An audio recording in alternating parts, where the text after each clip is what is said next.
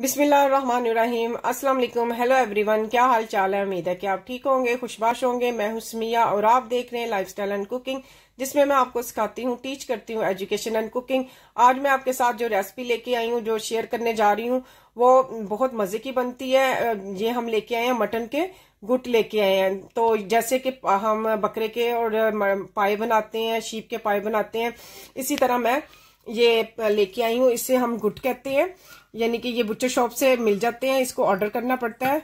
तो हमने इससे पहले अच्छे से वॉश किया है। इसके ऊपर बाल होते हैं, बालों को हम जला लेते हैं। जलाने के बाद इसको अच्छे से वॉश कर लेते हैं। इस पर कोई भी बाल नहीं रहना चाहिए। फिर बिल्कुल खाना बच जाएगा और बेमज़ा हो जाता है अगर बाल निकले खाने में से।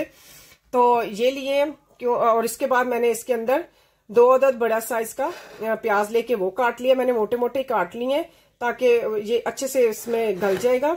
और मैंने एक गट्ठी पूरी ये जो होता है लहसुन, वो लेके उसको छील लिया और दो टुकड़े इसके अदरक के लिए, उसको छोटा छोटा चॉप कर लिया और दो अदर टमाटर लेके वो काट लिए हैं। तो इसमें जो स्पाइसेस और मसाले जाएँगे, वो हमने लिया है। क्वार्टर टी स्पून मैंने हल्दी ली है, एक टेबल स्पून मैंने सुरख मिर्च ली है। एक एक टीस्पून मैंने लिया है जीरा और खुश्क धनिया पिसा हुआ। एक टीस्पून मैंने नमक लिया है क्वार्टर टी स्पून हमारा इसमें गर्म मसाला जाएगा। गर्म मसाला हम एंड पे डालेंगे और ऑयल जाएगा तीन से चार, यानी कि टेबल स्पून या लगा लें हाफ़ कप लगा ले ऑयल का जाएगा। इसमें ऑयल ज़्यादा डलता है। तो हाफ़ कप लगा ले। तो चलिए स्टार्ट करते हैं। मैं आपको बताती हूँ। मैंने ये प्रेशर कुकर ले लिया है और इसमें मैं ये सारे रहीम जो टमाटर हमारे हमने काटे हुए हैं, प्याज काटा हुआ है, लहसुन, अदरक काटा हुआ है, वो हम सारा इसमें ऐड कर देते हैं। और इसके साथ ही हम इसमें अपने ये जो पाए हमने सॉरी पाए नहीं गुट हमने वॉश करके रखे हैं, वो भी हम इसमें डाल देते हैं। ये बहुत ही मज़े के बनने जा रहे हैं और बहुत मज़े के बनते हैं। और मेरे ख्याल में ये यूट्यूब पे पहली पहली दफ़ा मैं रेसिपी लेके आई हूँ। आई थिंक सो मैंने नहीं देखी कि किसी ने ये गुट बनाए हो। तो मैं फ़र्स्ट टाइम बना रही हूँ और आप लोग भी इनशाला ताला ये ज़रूर ट्राई कीजिएगा, जिसको गुट पसंद है गुट का शोरबा पसंद है, ये बहुत ही हेल्थी होता है। तो अब मैं इसमें पानी ऐड करूँगी। मैंने तमाम चीज़ें आपके सामने ऐड कर दी हैं, लहसुन, अदरक, प्याज, टमाटर और सारे स्पाइसेस और साथ में गुट तो अब मैं इसमें पानी ऐड करूँगी। बिस्मिल्लाहिर्रहमानिर्रहीम। पानी हम इसमें पूरा तीन कप डालेंगे। तीन कप पानी डालने के बाद हम इसको चूल्हे पे रखते हैं। ये देखिए व्यूवर्स हमने थ्री कप पूरे पानी डाल के अब हम इसको प्रेशर को बंद करते हैं और नीचे आँच जलाते हैं। ये देखिए व्यूवर्स हमने ढक्कन बंद कर दिया है प्रेशर हमने लगा दिया है, आँच हम नीचे नीचे जला दी है और इसको पूरा हमने आधा घंटा के लिए पकाना है तो आधे घंटे बाद हम वापस आते हैं। पूरा हाफ़ आवर बिस्मिल्लाहिर्रहमानिर्रहीम। ये देखिए पूरा हाफ़ आवर हो गए हैं और ये हमारे गल गए हैं तो अब हम इसमें ऑयल डाल के भूनते हैं। देखिए इसने वैसे ही कितना ऑयल छोड़ा हुआ है, ये इसका अपना ही रोगन है। ये देखिए, ये माशाल्लाह बहुत अच्छे से हो गए हैं। अब हम इसमें ऑयल डाल के इसको भूनेंगे। ये देखिए, इसके अंदर इसकी बहुत ही, ये जो इतना, इसका जो टेस्ट होता है, बहुत ही मज़े का होता है और ये बिल्कुल पायों जैसा टेस्ट रखते हैं। तो अब मैं इसमें ऑयल डालती हूँ। ये देखिए, मैंने इसमें ऑयल डाल दिया है, लेकिन मैंने हाफ़ कप नहीं डाला। हाफ़ कप से कम डाला है, क्योंकि इसमें अपना ही काफ़ी ज़्यादा इसके अंदर ऑयल था। तो एक्स्ट्रा ऑयल ना हो जाए तो इसलिए अब हम इसको अच्छे से भूनते हैं।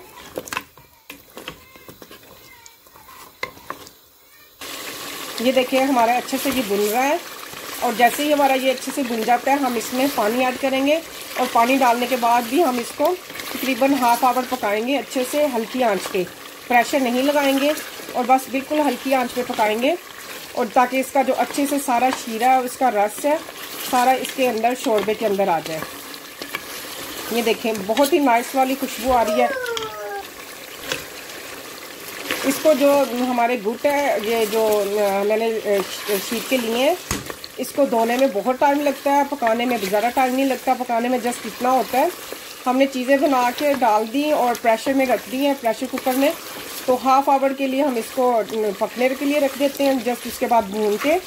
अब अच्छे से हम इसको भूनेंगे और हाफ़ आवर के लिए बस इसको फिर रख देंगे। तो ये बहुत ही इजीली और बहुत ही मज़े का शोरबा इसका रेडी होता है और बहुत ये हेल्थी होता है, बहुत फ़ायदेमंद होता है।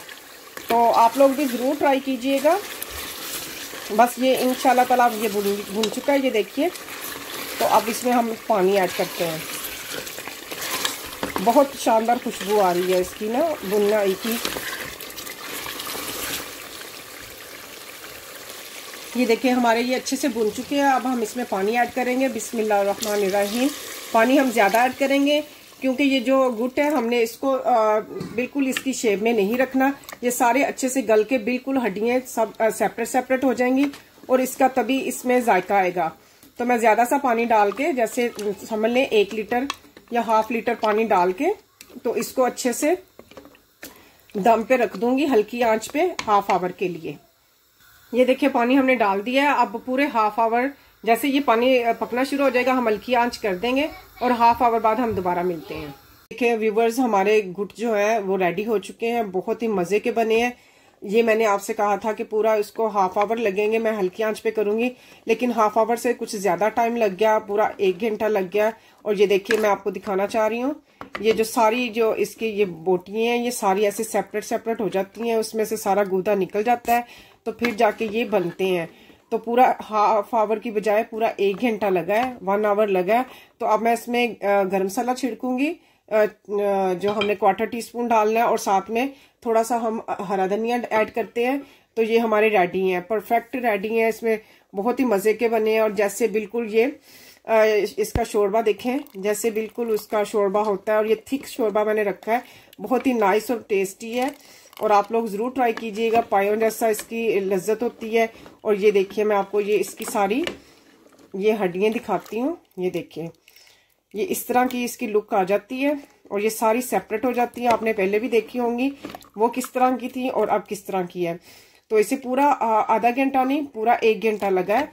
तो ये रेडी हो गया अब। तो अब मैं इसको आपको डिश आउट करके दिखाती हूँ। ये बहुत ही टेस्टी और मज़े के बनता है। और आप लोग ज़रूर ट्राई कीजिएगा। तो चले मैं अब इसको डिश आउट करती हूँ। ये देखिए व्यूवर्स ये मैंने निकाल के आपको दिखाई है इसकी हड्डियाँ इस तरह होती हैं और उसके बाद मैं इसमें अभी शोरबा भी ऐड करूँगी। लेकिन ये मैंने आपको दिखाने के लिए कि ये देखें इसकी सारी हड्डियाँ सेपरेट सेपरेट सब आ, हो गई हैं लैदा और ये देखें और ये बहुत ही टेस्टी होता है बहुत ही सेहत के लिए अच्छा होता है हेल्थी होता है और सर्दियों में तो ये आप लोग बहुत ज़्यादा बना के खाएँ। हमारे घर में बहुत बनता है और हर हर यानी कि घर का अफराद बहुत पसंद करता है। तो चलिए अब मैं इसमें शोरबा ऐड करती हूँ।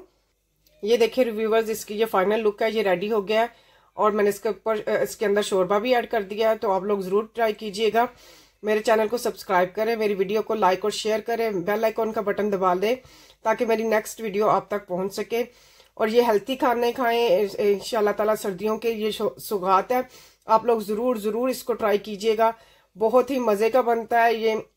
जैसे पाए बनते हैं उसी तरह ये बहुत ही मज़े का बनता है और आप लोग ज़रूर ट्राई कीजिएगा, देखिएगा। आप लोग इसको नान के साथ खा सकते हैं गरम गरम रोटी के साथ, तंदूरी रोटी के साथ खा सकते हैं। और आप लोग यकीन करें, जब ये खाएँगे, बनाएँगे तो आप बिल्कुल बहुत ही अच्छा फील करेंगे। आप मज़े ले लेके खाएँगे। तो चलिए, मिलते हैं नेक्स्ट वीडियो में। ओके, अल्लाह हाफिज़।